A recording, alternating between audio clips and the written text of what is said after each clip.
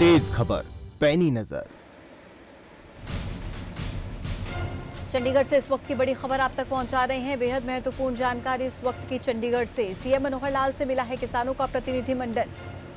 तो मुख्यमंत्री मनोहर लाल से मुलाकात हुई है। कृषि कानूनों के समर्थन में भारतीय किसान नेता भूपेंद्र मान गुट जो है वो यहाँ पर जुटे हैं और साथ ही कुरुक्षेत्र के मथाना में कराएँगे सीएम का कार्यक्रम किसानों का कहना। कृषि कानूनों के लागू होने से मिली किसानों को आज़ादी। ये भी बयान दिया गया है। चंडीगढ़ से इस वक्त का बेहद बड़ा अपडेट आप तक पहुँचा रहे हैं। सीएम मनोहर लाल से मिला है किसानों का एक डेलीगेशन और कृषि कानूनों के समर्थन में भारतीय किसान भूपेंद्र मान गुट उतरा है और उनका कहना है कि कुरुक्षेत्र के बथाना में सीएम का हम कार्यक्रम करवाएँगे और कृषि कानूनों के लागू होने से किसानों को आज़ादी मिली है। कुलवीर दीवान, ज़्यादा जानकारी के साथ मेरे साथ जुड़ गए हैं। कुलवीर, एक तरफ़ किसान सात महीने से दिल्ली की सरहदों पर प्रदर्शन कर रहे हैं। दूसरी तरफ़ एक गुट ऐसा भी जो किसान कृषि कानूनों के समर्थन में अब नज़र आ रहे हैं। देखिए ये फ़िलहाल ये कहें कि हरियाणा में खासतौर पर भारतीय जनता पार्टी के लिए एक राहत की खबर है कि एक किसान संगठन जो है उसने सरकार को समर्थन दिया है और उसने ये कहा है कि जो कृषि कानून बने थे वो किसानों की मांग उसमें की गई थी।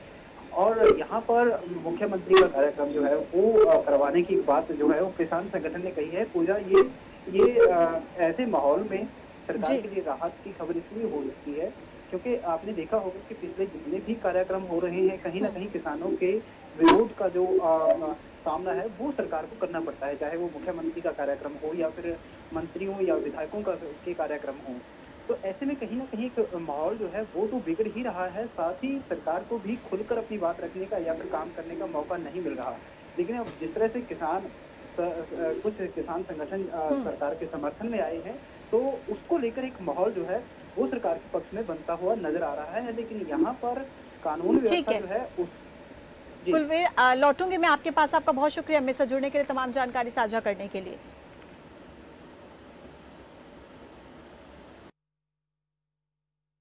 मिले थे।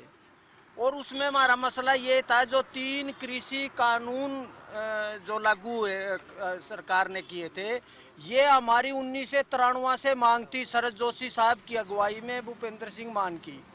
और जब डब्ल्यू आया और डंकल प्रस्ताव आया, उसके भी हम समर्थक थे। और अब हमने जो कृषि कानून जो बनाए गए हैं, वो कृषि कानून किसानों के पूरी तरह हित में है। उसमें जो ये काला, सफ़ेद जो कह रहे हैं, उसमें किसानों के खिलाफ कोई भी एक भी बात नहीं है। किसान को मंडी मिलेगी, बाज़ार मिलेगा, मंडी के साथ साथ किसान को ऑप्शन होगी कि वो किसी भी बाज़ार में जाके बेच सके।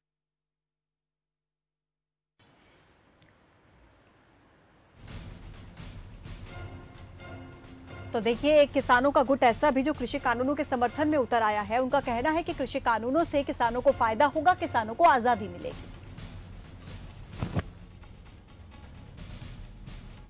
आप देख रहे हैं खबर फास्ट। तेज